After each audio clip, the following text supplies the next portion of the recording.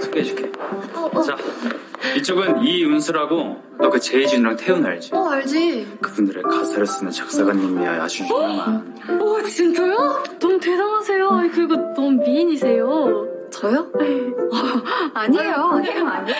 아니, 선배 여친은 아니지? 아니, 언니 쪽이 너무 아까우신데? 여친 아니고 베프. 아, 네. 음, 베프. 아 그리고 이쪽은 아, 김소연입니다. 어. 네. 아, 선배 일 도와주고 있고, 선배 따라다니고 있어요, 제가. 음. 그래가지고 내가 진짜 많이 피곤해. 아이, 아, 지금. 너. 그럼 내 어, 토대지. 아, 선배, 그러면 나 아까 그 2번 파일 합쳐서 따로 빼놓을게. 어 그래 고마워. 아, 아, 앉아 계세요. 어, 네. 일 보세요. 네. 음.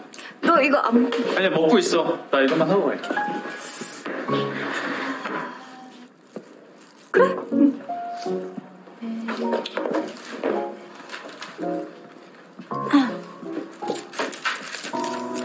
아, 은수야 거기 쿠키즈 선배가 좀 해줘. 이거, 이거 어떻게 해요?